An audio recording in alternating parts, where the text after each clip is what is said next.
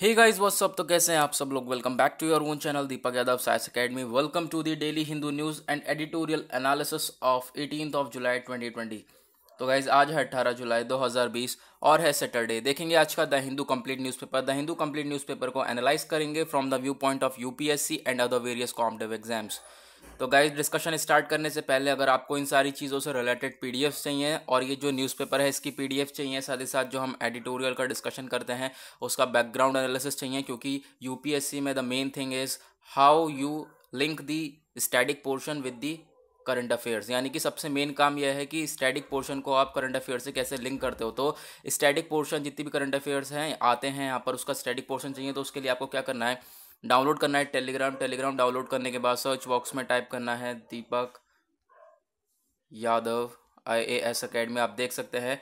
जाके नीचे, यहाँ पर क्लिक करोगे तो नीचे ज्वाइन का ऑप्शन आ रहा होगा, नीचे ज्वाइन कर लेना, क्योंकि यहाँ पे आपको डेली बेसिस पे जो है आर्टिकल्स दिए जाते हैं डेली बेसिस पे नोट्स दिए जाते हैं, उसका बैकग्राउंड एनालिसिस जैसे कि न्यूज़ में हमारा एनवायरमेंट इम्पैक्ट असेसमेंट है आज। तो हम उसके बारे में डिस्कस करेंगे। ये सारी चीज़ें उसके बारे में आर्टिकल में नहीं है, लेकिन उसका जो बैकग्राउंड एनालिसिस जहाँ से क्वेश्चन पूछा जाएगा, वो यहाँ पर प्रेजेंट है, ठीक है? तो ये सारी चीज़ें आपको दी जाएँगी। जितने भी नोट्स हैं, ये सारी आप जाकर ले सकते हैं। और ये सारी चीज़ें बिल्कुल फ्री ऑफ़ कॉस्ट है। जी हाँ यहाँ पर आपसे कोई चार्ज वगैरह पे नहीं करा जा रहा है। ये सारी चीज़ें बिल्कुल फ्री ऑफ़ कॉस्ट हैं, जाकर आप ज्वाइन कर सकते हैं। इसमें आपको कुछ नहीं करना है, सिर्फ़ और सिर्फ़ ज्वाइन करना है। और जो लिंक है इसका टेलीग्राम का, वो मैंने डिस्क्रिप्शन में दे दिया है। डिस्क्रिप्शन में से क्लिक करके भी आप जाकर ज्वाइन कर सकते हैं। कुछ चार्ज वगैरह है ही नहीं, कुछ भी नहीं करना, सिर्फ़ एक छोटा सा क्लिक कर करके ज्वाइन करना है, जिससे आपको यहाँ पर इतने सारे बेनिफिट्स मिल सकते हैं। न्यूज़पेपर मिल रहा है, साथ ही साथ आपको जितने भी नोट्स वगैरह हैं, वो भी प्रोवाइड कर दिए जाते हैं। तो गाइज़ आगे बढ़ने से पहले, अभी तक आपने चैनल को सब्सक्राइब नहीं किया है तो नीचे रेड कलर का बटन आ रहा होगा सब्सक्राइब कर देना। एक छोटा सा बस खाली जाएगा, कुछ नहीं जाता है सब्सक्राइब करने में। यहाँ पर बस आपको एक छोटा सा क्लिक करना है। तो गाइज़ प्लीज़ क्लिक करके अपना लव और सपोर्ट और ज़्यादा दिखाइए यहाँ पर इस चैनल में। तो बढ़ते हैं आगे, देखते हैं हमारे लिए कौन कौन सी न्यूज़ हैं इंपॉर्टेंट आज के द हिंदू में from the view point of UPSC और बाकी वेरियस कॉम्पिटिव एग्ज़ाम्स के व्यू पॉइंट ऑफ़ से ये भी इंपॉर्टेंट हैं न्यूज़ उनको भी डिस्कस करेंगे। बट जैसे यहाँ पर आप देख सकते हो, ये वाली फ़र्स्ट आर्टिकल है हमारा N G T no alternative ways of cremation plea अब यहाँ पर देखो एन जी टी के बारे में आ गया। एन जी टी ने क्या स्टेप उठाया है कि जो एयर पॉल्यूशन उसको कर्व करने के लिए, कम करने के लिए कुछ स्टेप उठाया है। अब यहाँ पर स्टेप तो उठाया है, लेकिन यहाँ पर हम ये थोड़ा ना याद रख सकते हैं। अब जो मेन चीज़ है, वो किसने उठाया? है एन जी टी ने।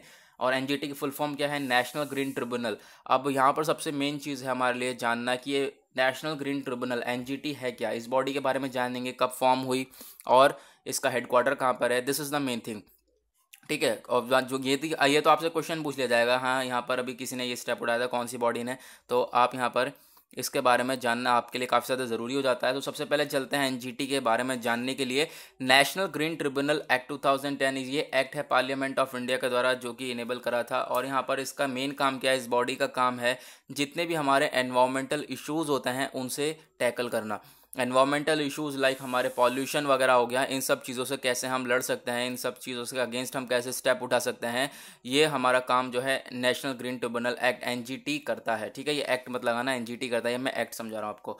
बट और सबसे बड़ी बात यहाँ पर ये बॉडी क्यों आई? क्योंकि यहाँ पर आर्टिकल ट्वेंटी वन ये बताता है कि जो जितने भी पर्सन हैं यहाँ पर, उनकी, यहाँ पर प्रोटेक्शन ऑफ़ लाइफ उनकी लाइफ को प्रोटेक्शन साथ ही साथ उनको लिबर्टी का, उनके, यानी कि उन्हें अपने पूरी पूरी लिबर्टी का हक है और अपनी जो लाइफ है, उसको जो प्रोटेक्शन है, उसको भी करने का यहाँ पर आर्टिकल ट्वेंटी में कहा गया है कि हाँ उनकी लाइफ को प्रोटेक्ट करा जाएगा, जो कि यहाँ पर एश्योर करती हैं जो सिटीज़न ऑफ़ इंडिया है, वो एक राइट टू है यहाँ पर right to a healthy environment एक हेल्दी एनवायरनमेंट में रहने का पूरा पूरा हक है हर किसी पर्सन का। तो गाइज़ इसको फॉलो करते हुए, ये जो कॉन्स्टिट्यूशन का हमारा आर्टिकल है, इस इस आर्टिकल को फॉलो करते हुए, यहाँ पर ये बॉडी बनाई गई एनजीटी जो कि यहाँ पर यही काम कर रही है इस समय, और क्या काम कर रही है, जितने भी एनवायरमेंटल इश्यूज़ हैं, उनसे निपटने के लिए हमारी ये बॉडी काम करती है लाइक पॉल्यूशन ये सारी चीज़ें हो गई ओके सो सबसे इंपॉर्टेंट चीज़ है जो यहाँ पर इसका, जो है एन जी टी का हेडक्वार्टर कहाँ पर है, वो हमारा न्यू दिल्ली में चले, चलिए आ जाइए यहाँ पर न्यूज़पेपर पे, देखते हैं और क्या हमारे लिए इम्पोर्टेंट है। नेक्स्ट है, हमारे लिए इम्पोर्टेंट बढ़ते हैं आगे। सब हाईलाइट कर रखा है। तो गाइज़ ये हाईलाइटेड न्यूज़पेपर ही आपको दिया जाएगा। आप जाके हाईलाइटेड न्यूज़पेपर ले सकते हैं, ठीक है? टेलीग्राम से डाउनलोड कर सकते हैं। नाउ अब आता है हमारा पेज नंबर सिक्स पे। दैट इज़ एडिटोरियल एडिटोरियल काफ़ी ज़्यादा इंपॉर्टेंट होता है from the view point of UPSC for mains as well as prelims के पॉइंट ऑफ़ व्यू से भी इंपॉर्टेंट होता है बट जो अदर पेजेस होते हैं अपार्ट फ्रॉम एडिटोरियल जैसे हमने अभी एन कवर किया एडिटोरियल के अलावा जो पेजेस होते हैं, वो भी काफ़ी ज़्यादा इंपॉर्टेंट होते हैं हमारे प्रिलिम्स के पॉइंट ऑफ़ व्यू से। प्रिलिम्स से काफ़ी सारे क्वेश्चंस बनते हैं वहाँ से। तो guys we should not skip that papers वहाँ पे हम लोगों को वो वो जो पेपर्स हैं, उनको स्किप नहीं करना चाहिए। हम लोगों को ये नहीं होता कि बहुत से ऐसे होता है, सिर्फ़ एडिटोरियल पढ़ लेते हैं, नहीं। हमें प्रिलिम्स के पॉइंट ऑफ़ व्यू से भी कवर करना है प्रिलिम्स मेंस दोनों साथ में प्रिपेयर करना है तो गाइज़ यहाँ पर हम लोग पूरा न्यूज़पेपर कवर करेंगे, पूरा न्यूज़पेपर कवर करना चाहिए, मैं आपको यहाँ पे पूरा न्यूज़पेपर कवर कराता हूँ, जितनी भी इंपॉर्टेंट चीज़ें आती हैं अगर प्रिलिम्स के रिलेटेड तो प्रिलिम्स के रिलेटेड पढ़ा देते हैं मेंस के रिलेटेड तो मेंस से रिलेटेड तो सबसे पहले हम लोग अभी यहाँ पर एक ओवरव्यू ले ले रहे हैं। इस एडिटोरियल में आज हमारे लिए है क्या चीज़ इंपॉर्टेंट एडिटोरियल में हमारे लिए ये वाला आर्टिकल इंपॉर्टेंट है, ये वाला आर्टिकल भी थोड़ा बहुत ओवरव्यू ले जाएगा। ये पॉलिटिकल आर्टिकल है, इससे मतलब नहीं है हमारा, इससे भी इस आर्टिकल से ही मतलब नहीं है। ये दोनों आर्टिकल हमारे लिए इंपॉर्टेंट है तो इन दोनों आर्टिकल को डिस्कस करेंगे हम। ठीक है? ये वाला आर्टिकल ये हमारा ग्राउंड ज़ीरो आता है संडे को इंपॉर्टेंट नहीं होता सैटरडे को। ठीक है सैटरडे को ग्राउंड ज़ीरो आता है इंपॉर्टेंट नहीं होता, जो इंपॉर्टेंट होता है उसके बारे में बता दिया जाता है आपको। ठीक है तो एडिटोरियल के बारे में डिस्कस करते हैं। सबसे पहला जो हमारा आर्टिकल है Iran ties need a quiet diplomacy जो भी डेली बेसिस पे न्यूज़ एनालिसिस देख रहा है मेरा, और काफ़ी से अच्छे अच्छे कमेंट्स भी आते हैं आप लोगों के, आपका इतना लव और सपोर्ट बनाने के लिए बहुत बहुत थैंक यू लेकिन यहाँ पर जो भी डेली बेसिस पे एनालिसिस देखता है, उन्हें पता होगा ईरान और यहाँ पर ईरान और इंडिया के बीच में जो क्या चल रहा है, उसके बारे में मैंने समझाया था तो इसके बारे में पता होगा जो चाबार पोर्ट को रिलेटेड चाबार पोर्ट को लेकर जो बातें चल रही हैं, साथ ही साथ चाइना बीच में आ गया है ना? तो आज मैं इसको बेसिक से समझाने वाला हूँ, बने रहना और ध्यान से सुनना इस यहाँ पर इस पूरे के पूरे आर्टिकल के बारे में। तो जो ईरान टाइज है वो काफ़ी ज़्यादा यहाँ पर भी ज़रूरत है क्वाइट डिप्लोमेसी की तो उसके बारे में बात करेंगे। इंडिया को जो है ये चीज़ है, यहाँ पर कंटिन्यू करना चाहिए। अपना जो यहाँ पर ईरान से जो रिलेशन है टाइज है, उसको कंटिन्यू रखने चाहिए, क्योंकि इंडिया को आगे हेल्प होगी।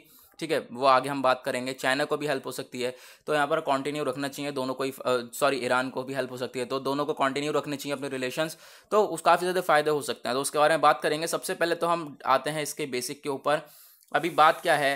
जो ईरान और इंडिया है, दोनों के बीच में यहाँ पर 2016 में साइन हुआ था एक एग्रीमेंट जिसमें कि कहा गया था, एक, पहली बात तो एक चाहबार पोर्ट है ईरान में, ठीक है, जो कि इंडिया ने डेवलप किया है।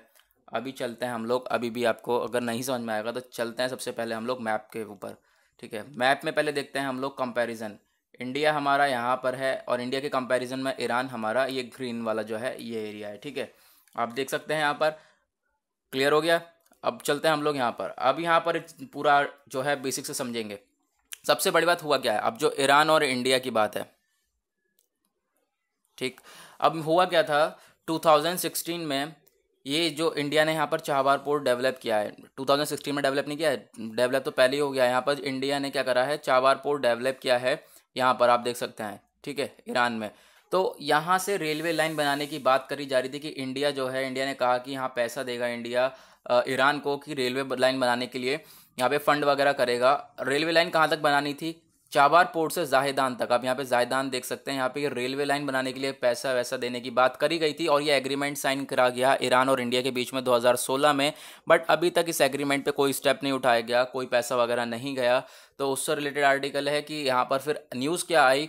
न्यूज़ ये आई कि रिसेंटली अभी ईरान ने कहा कि जो इंडिया है, उसको वो बाहर कर देगा इस हमारे प्रोजेक्ट से।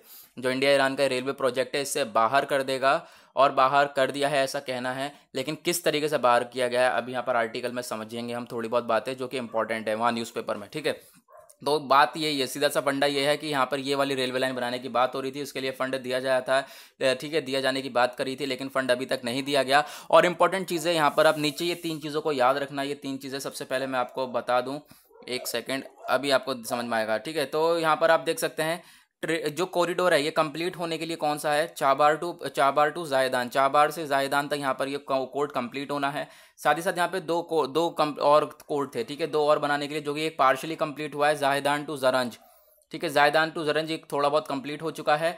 उसके बाद जरंज टू देहरान यहाँ पर क्या है? Delaram two thousand two two hundred and eighteen kilometre. ये भी जो है ये पूरा का पूरा कंप्लीट हो चुका है, ठीक है? तो ये सारे पोर्ट यहाँ से, यहाँ तक कनेक्ट करने की बात करी गई थी, लेकिन जो कनेक्ट करा यहाँ से, यहाँ तक चाहबार से लेके जायदान तक ये अभी पेंडिंग है, ठीक है? ये अभी रह गया है।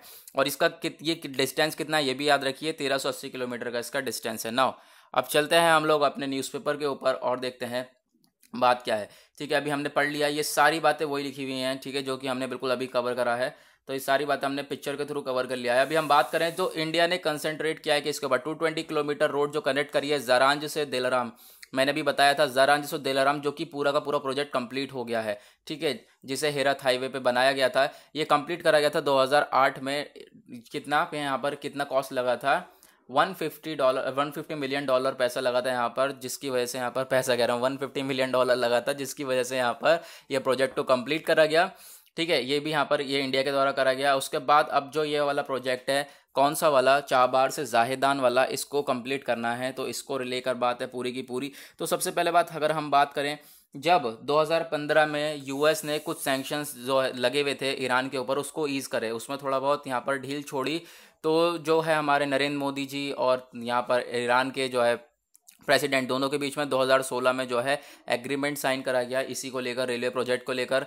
फिर उसके बाद अगर हम बात करें, फिर बाद में क्या हुआ? बाद में यूएस ने वापस सैंक्शंस इंपोज कर दिए री इम्पोज कर दिए, यानी कि वापस लागू कर दिए ईरान के ऊपर सैंक्शंस तो काफ़ी ज़्यादा प्रेशर आ गया तब से यहाँ पर आप देखोगे, काफ़ी सारी चीज़ें आई, काफ़ी सारी प्रॉब्लम्स आई, और यूएस ने मना कर दिया, कोई तेल वगैरह भी नहीं लेगा, बिल्कुल भी ईरान से। तो यहाँ पर इंडिया ने भी तेल वेल रोक दिया था। तो इन सारी चीज़ों को प्रॉब्लम देखते देखते यहाँ पर कहाँ से अभी जाकर इंडिया पैसे दे देता? तो उसके, उस, ये सारी बातें हैं। उसके बाद हम यहाँ पर नेक्स्ट चीज़ आती है why Iran needs India why Iran needs China Iran को चाइना की ज़रूरत क्यों है? क्योंकि एक तो देखो फंड चाइना बहुत दे रहा है। आप देखोगे फोर हंड्रेड बिलियन डॉलर ठीक है? Four hundred not million it's billion billion dollar यहाँ पर दे रहा है तो इतना फंड दे रहा है तो ऑब्वियसली यहाँ पर ईरान को ज़रूरत पड़ेगी अगर इतना फंड दे रहा है। साथ ही साथ इन्वेस्टमेंट वगैरह होगा, बाकी ईरानियन इंफ्रास्ट्रक्चर के ऊपर ये सारी चीज़ें होंगी। और सबसे बड़ी बात जब यहाँ पर यूएस ने कह दिया था, कोई तेल वगैरह नहीं लेगा ईरान से तो एक चाइना था जिसने यहाँ पर तेल लिया, ठीक है? बिना परवाह करते हुए यूएस सेंक्शन की। तो चाइना जिसने तेल लिया और अभी तक कंटिन्यू है तो यहाँ पर ईरान समझता है कि हाँ चाइना में ऐसी पावर है कि जो यूएस को रेसिस्ट कर सकती है, ठीक है? वाकई में ऐसा है, लेकिन रेसिस्ट कर सकती है, चाइना में ऐसी पावर है। तो यहाँ पर ईरान ने ज़रूरी समझा कि हाँ चाइना की ज़रूरत है ईरान को, ठीक है? उसके बाद अगर हम मे की बात करें तो यूएस ने अनाउंस कर दिया कि यहाँ पर U N S C United Nation Security Council ये कर देगा ban Iranian acquisition conventional weapons जो यहाँ पर वेपन्स वगैरह बनाए जाते हैं, उसके ईरान के ऊपर इस चीज़ को भी बैन कर देगा, वैसे ही काफ़ी सारी चीज़ें बैन कर दी हैं। ये हमारा यूएनएससी का कहना था, ठीक है? यू एन एस सी अब यहाँ पर ये चीज़ इंपॉर्टेंट है, ये है क्या? यूनाइटेड नेशन सिक्योरिटी काउंसिल ये चीज़ इंपॉर्टेंट है। अब देखो करंट अफेयर्स तो आप कवर कर रहे हो, उसके बीच बीच में जो बॉडीज़ वगैरह ये आप कवर करोगे तो आपका जो है बेसिक भी स्ट्रेंथ होगा, सारी चीज़ें क्लियर हो जाएँगी। अगर आप यही चीज़ें कवर नहीं करोगे तो आपको प्रॉब्लम्स हो जाएँगी, क्योंकि क्वेश्चन यहीं से बनने हैं।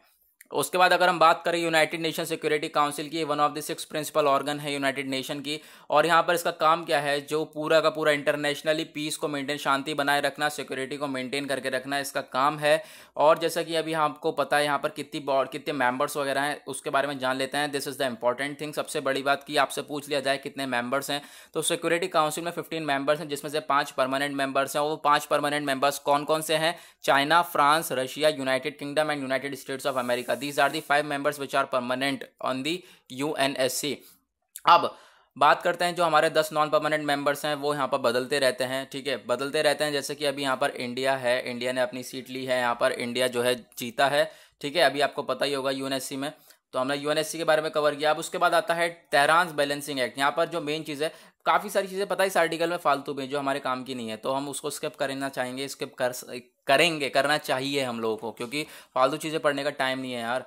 उसके बाद यहाँ पर आप देखोगे, सबसे बड़ी बात इंडिया को यहाँ पर क्या करना चाहिए? इंडिया को जो है रिलेशन अपने मेंटेन करके रखने चाहिए। सबसे बड़ी बात, आप यहाँ पर देखोगे, जो यूएस है यूएस ने जो है अपने सैंक्शंस वगैरह इम्पोज कर दिए तो इंडिया इंडिया को भी काफ़ी ज़्यादा परेशानी पड़ी कि यहाँ पर चाबार पोर्ट को चलाए रखे, साथ ही साथ यहाँ पर चाबार पोर्ट में इन्वेस्टमेंट करता रहे। तो यहाँ पर काफ़ी, जब यूएन ने सेक्शंस लगा दिए तो काफ़ी ज़्यादा जो है जो है इंगेजमेंट कम रहा। ठीक है इंडिया का वहाँ से ईरान से, क्योंकि यहाँ पे सैंक्शंस वगैरह लगा दिए, काफ़ी ज़्यादा प्रेशर हो गया था। अब हम कुछ बातें करें, जैसे कि हमारा यूएस सैंक्शंस वगैरह लगाते हैं, ठीक है यूएस की बात करें यूएस की बात हमने कर ली। अब चाइना और ईरान की बात करें तो इन दोनों की पार्टनरशिप लंबे समय तक चलने वाली है, इतना पैसा वैसा लग रहा है इंफ्रास्ट्रक्चर हो रहा है, यानी कि लंबे समय तक इनकी पार्टनरशिप जो एग्रीमेंट हो चुका है। लेकिन साथ ही साथ इंडिया को क्या करना है? इंडिया को ज़रूरत है दिस इज़ द इंपॉर्टेंट ये यहाँ पर ये ये चीज़, ये ज़रा सा पैराग्राफ काफ़ी ज़्यादा इंपॉर्टेंट है। इंडिया को ज़रूरत है कि इम्प्रूव करे अपनी इम्प्लीमेंटेशन रिकॉर्ड यानी कि इंफ्रास्ट्रक्चर प्रोजेक्ट वगैरह, इन सब चीज़ों को जो ये इम्प्लीमेंट करे, जो ये सब कह के आता है यहाँ पे सारे, जो साइन वगैरह करते हैं, इन सबको टाइम पर जल्दी जल्दी इंप्लीमेंट करा जाए। साथ ही साथ यहाँ पे जो प्रोजेक्ट्स चल रहे हैं, आप देखोगे, बहुत, काफ़ी सारे प्रोजेक्ट्स चल रहे हैं, नेपाल, श्रीलंका, बांग्लादेश, म्यांमार, ठीक है, और भी बाकी जगह जहाँ पर इंडिया के प्रोजेक्ट्स जल, कराने की बात हुई है, यहाँ प्रोजेक्ट्स लाने की बात हुई है, ठीक है, करने की बात हुई है फंड देने की बात हुई है। तो सबसे बड़ी बात है, इस चीज़ को करके चले। ठीक है, अगर डिले करता है और यहाँ पे कुछ जो है कॉस्ट के लिए कुछ फर्म यहाँ पर जो है परेशानी आती है कॉस्ट रिलेटेड या फिर डिले वगैरह होता है तो जो चाइना है, चाइना पूरा पूरा अपना जो है पैर पसा रहेगा। चाइना जो है अपने इंडिया की जो नेबरहुड है, जो उसकी आपसी कंट्रीज़ हैं, पड़ोसी कंट्रीज़ हैं तो उसमें काफ़ी ज़्यादा फिर दखल अंदाजी करता है चाइना, जैसा कि हमने अभी देखा ईरान से रिलेटेड तो चाइना चाहता है कि, चाइना तो चाहता है कि फ़ंड वगैरह दे के उसे लोन में फंसा के और फिर वहाँ पर ज़्यादातर कंट्रोल कर ले, ठीक है? तो यहाँ पर इंडिया को अपना ध्यान रखना पड़ेगा, यानी कि इंडिया को इन चीज़ों के ऊपर ध्यान रखना पड़ेगा, साथ ही साथ कवर करते हुए चलना पड़ेगा सारी चीज़ों को जैसे जैसा यहाँ पर अगर एग्रीमेंट वगैरह कराई जाती हैं तो। अब यहाँ पे नेक्स्ट आर्टिकल है हमारा milestone of a million ये आर्टिकल पूरा का पूरा स्टार्टिंग से बताया जा रहा है यहाँ पर, इतने दिन में इतने केस थे कोविड नाइन्टीन के इतने दिन पे इतने हो गए, फिर लास्ट जो तीन दिन में अभी अभी रिसेंटली सोलह जुलाई को जो है वन मिलियन क्रॉस हो गए हैं, दस लाख केसेस तो उसके बाद यहाँ पर क्या कहा गया है? तीन, जो लास्ट के दो केसेस है, वो सिर्फ़ यहाँ पर तीन चार दिन में जो है ये दो लाख हो गए हैं। तो ये पूरा का पूरा ये डेटा माली इंपॉर्टेंट नहीं है। सारी चीज़ आपसे पूछी छोड़ना जाएँगी कि यहाँ पर इतने दिन पे कितने केसेस हुए थे। ये सारी चीज़ें इंपॉर्टेंट नहीं है बट यहाँ पे दम, ये एक मेन थिंग है जो कि इंपॉर्टेंट है। वो जो डेथ जो है रिमेन्स लो बट इंडिया को क्या करना चाहिए? वायरस से लड़ते रहना चाहिए, लेकिन यहाँ पर ये दिखाता है इंडिया जो अपना डेटा मैनेज करते हुए चलता है, इतने सही हुए, इतने वो है इतने सही हुए, इतने यहाँ पर वो है। ठीक है डेथ रेट कम है। तो यहाँ पर अगर डेटा को मैनेज तो यहाँ पर इतना ध्यान नहीं देना, जितना यहाँ पर ध्यान देना है इंडिया यहाँ पर वायरस से फाइट कर सके, ठीक है?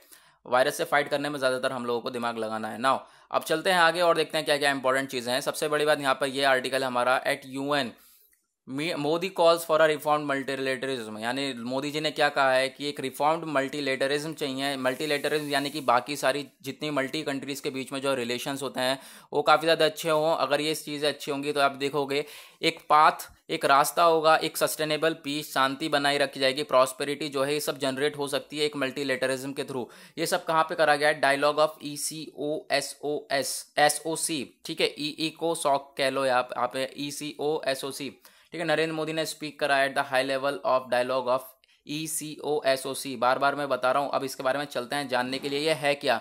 यह हमारा इकोसॉक है क्या? इकोनॉमिक एंड सोशल काउंसिल है ये हमारी यूएन की यूनाइटेड नेशन की economic and social council now we will cover it अभी यहाँ पर आपको समझ में आएगा।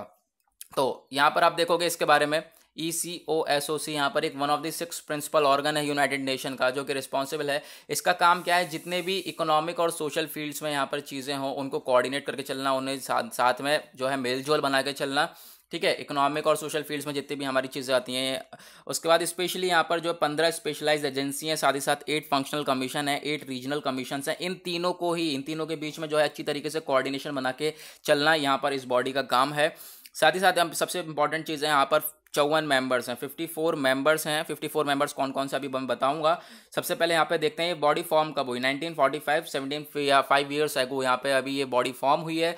और साथ ही साथ यहाँ पे एक टाइप का प्रिंसिपल ऑर्गन है यूनाइटेड नेशन का एक्टिव स्टेटस है। Headquarter is the important thing बार बार मैं कहता हूँ हेडक्वार्टर कहाँ पर है? इसका न्यूयॉर्क यूनाइटेड स्टेट में प्रेसिडेंट कौन है? अभी इसके हेड कौन है? प्रेसिडेंट मोनाजुल अभी यहाँ पर और चीज़ें इंपॉर्टेंट नहीं हैं बट अभी देखते हैं हम लोग यहाँ पर। 54 मेंबर्स कौन कौन से हैं? आप देख सकते हैं अफ्रीकन स्टेट 14 यहाँ पर हैं, उसके बाद एशिया पैसिफिक स्टेट 14 11 है ईस्टर्न यूरोपियन स्टेट सिक्स हैं, और Latin American and Caribbean states ten हैं western European and other states thirteen है। तो आप यहाँ पर देख सकते हो ये हमारी फिफ्टी फोर मेंबर्स हैं इसके अंडर में। नाउ हमने कवर किया इसको। अब चलते हैं आगे और देखते हैं क्या है हमारे लिए important and then next important is ये। यहाँ पर इंपॉर्टेंट चीज़ क्या है? इंपॉर्टेंट चीज़ यहाँ पर यह है एन एच आर सी ठीक है?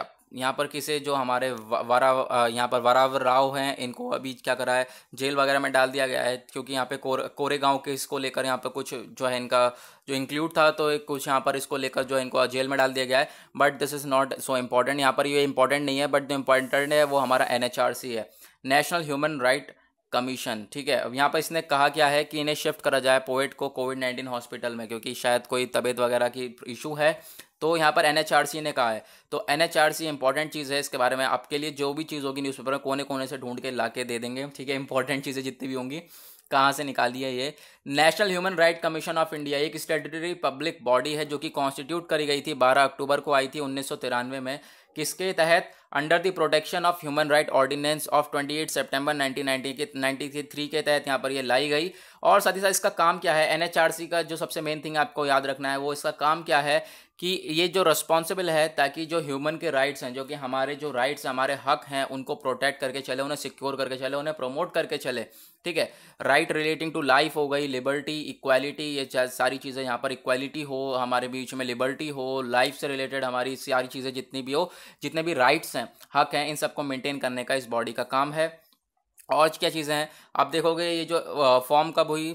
12 अक्टूबर 1993 को। इसका नेचर क्या है? फेडरल लॉ इन्फोर्समेंट लॉ वगैरह को लागू करने का काम है और हेडक्वार्टर कहाँ पर है? न्यू दिल्ली में है। इस समय आप देख सकते हैं और भी चीज़ें क्या हैं? अभी चेयरमैन कौन है? Justice H L Dattu. ये सारी चीज़ें इंपॉर्टेंट नहीं है। बट हमने कवर कर लिया अपना एनएचआरसी को। नाउ अब आगे चलते हैं और देखते हैं क्या है इंपॉर्टेंट एन के बाद एनएचआरसी के बाद draft E A I E I A sorry यहाँ पर अभी सर में दर्द हो रहा तो ऐसे ही निकल रहा है। यहाँ पर environment impact assessment E I A तो इसने लाइसेंस दिया है फॉर वॉयलेशंस ठीक है? वॉयलेशंस करने के यहाँ जो करें हैं, उसके लिए लाइसेंस दिया है। अब यहाँ पर बात करें कुछ डाइल्यूट्स की प्रोडक्शंस की, जो ड्राफ्ट ई आई ए है, इसके कुछ अलग से, उसके अपोजिट में बात हो रही है। आप यहाँ पर देख सकते हैं कि यहाँ पर आप देखोगे इसका काम क्या है प्रोटेक्ट करना और एनवायरमेंट एनवायरमेंट को प्रोटेक्ट करना, ठीक है, उसको इम्प्रूव करने का काम है, लेकिन यहाँ पे कुछ ऐसा सिस्टम दिखा नहीं। इसके तहत तो कुछ उल्टे सीधे काम हुए हैं तो उसके रिगार्डिंग यहाँ पर बताया जा रहा है। तो सबसे इंपॉर्टेंट चीज़ें हम लोग ई आई ए के बारे में जान लें। एनवायरमेंट इम्पैक्ट असेसमेंट ये है क्या, ठीक है? छोड़ेंगे कुछ भी नहीं। तो इसके बारे में मैंने नोट्स डाल दिए थे, गए कहाँ? एनवायरमेंट इम्पैक्ट असेसमेंट तो ये है गाइस इतना बड़ा बड़ा नहीं दिखा। एस थ्री बायोडाइवर्सिटी और इन्वामेंट में आते हैं, ठीक है? ये इंट्रोडक्शन देखें सबसे पहले। तो इसका काम है, जितने भी हमारे एनवायरमेंट से रिलेटेड चीज़ें हैं, ठीक है? उसको प्रोटेक्ट करना, उसको प्रमोट करना इसका काम है। अभी आप देखोगे, यानी ये process evaluating like environmental impacts जितने भी होते हैं, या फिर एक प्रोजेक्ट्स के थ्रू एक डेवलपमेंट्स के थ्रू ये सारी चीज़ों को देखना इसका काम है। अभी आपको समझ में आने वाला है, देखो, इसका यहाँ पे एक टोटल एक टूल है जो कि इस्तेमाल करा जाता है। जितने भी हमारे सोशल इकोनॉमिक इम्पैक्ट्स हैं एनवायरमेंटल इम्पैक्ट्स हैं, एक प्रोजेक्ट के ऊपर पड़ते हैं, ठीक है? तो उन चीज़ों को पहले से आइडेंटिफाई करना प्रायर यानी उसे लगाने से पहले, किसी प्रोजेक्ट से लगाने से पहले उसको आइडेंटिफाई करना, उसे पता लगाना ही हमारे लिए सही रहेगा, नहीं रहेगा, और अगर ख़राब रहेगा तो उसके जो एडवर्स इम्पैक्ट्स रहेंगे, उसको कैसे हम कम कर सकते हैं, ये सारा काम है इसका, ठीक है? इसके जो बुरे इम्पैक्ट रहेंगे, उसको हम कैसे रिड्यूस कर सकते हैं।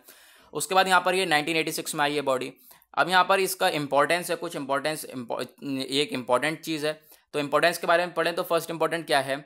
E I A environment impact assessment का यहाँ पर सबसे पहले लिंक है किस चीज़ से? एनवायरमेंट से, साथ ही साथ जो एनवायरमेंटली सेफ़ और सस्टेनेबल डेवलपमेंट है उससे रिलेटेड यानी उन चीज़ों को डेवलप करना, ठीक है, अपने एनवायरमेंट को डेवलप करने का काम है। साथ ही साथ यहाँ पे कॉस्ट इफ़ेक्टिव मेथड प्रोवाइड कराती है ताकि जो हमारे प्रोजेक्ट्स वगैरह हैं डेवलपमेंट प्रोजेक्ट्स जो आते हैं हमारे, ठीक है प्रोजेक्ट्स वगैरह लगाए जाते हैं ताकि एनवायरमेंट को डेवलप करा जाए। ये एक मेथड है ताकि जो मिनिमाइज कर सके, एक जो उसके अगर बुरे प्रभाव हैं तो उसको यहाँ पर कम करा जा सकता है इस बॉडी के थ्रू क्योंकि ये पहले से ही यहाँ पर पता लगाएगी, पहले से आइडेंटिफाई करेगी, पहले से रिसर्च करेगी तो पहले से ही सारी चीज़ें पता चल जाएँगी, ठीक है हाँ ये सही है, लगाना या नहीं। उसके बाद यहाँ पर ये इनेबल करता है जो ये डिसीज़न मेकर्स हैं ताकि जो एनालाइज कर सकें कि ये जो डेवलपमेंट एक्टिविटीज़ रहेंगी, कितनी ज़्यादा इफ़ेक्टिव रहेंगी, ठीक है? कितना ज़्यादा इफ़ेक्ट कर सकती हैं? इस चीज़ के बारे में ध्यान देना। अगर ज़्यादा इफ़ेक्टिव रहेंगी तो अच्छी तरीके से इस्तेमाल करा जाएगा। अगर इसके कुछ इम्पैक्ट्स होंगे तो उसको कम करा जाएगा, ठीक है? उसका बाद ये इंकरेज करी जाती है जो यहाँ पर हमारे डेवलपमेंट प्लान है, उन सबको मूल्यांकन करने का काम करती है।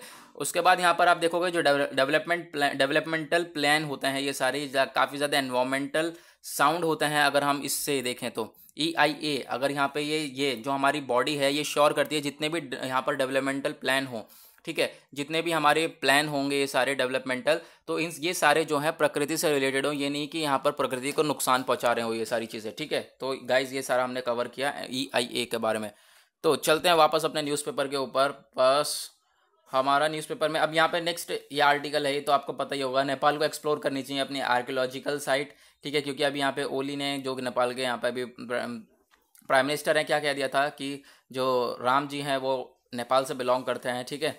तो गाइज़ यहाँ पर हम लोगों ने कवर कर लिया है पूरा का पूरा न्यूज़पेपर पूरा न्यूज़पेपर हमने कवर कर लिया है from the view point of UPSC अगर आपने अभी तक चैनल को सब्सक्राइब नहीं किया है तो नीचे रेड कलर का बटन आ रहा होगा। सब्सक्राइब कर दो, कुछ नहीं जाएगा, सिर्फ़ और सिर्फ़ एक क्लिक करके सपोर्ट दिखाना है गाइस उसके बाद टेलीग्राम पर आपको नोट्स वगैरह दे दिए जाते हैं तो टेलीग्राम पर आप ज्वाइन करके फ्री में सारे नोट्स के बेनिफिट्स उठा सकते हैं। तो गाइज़ आज के लिए बस इतना ही। मिलेंगे आप लोगों से कल। आज के लिए बाय बाय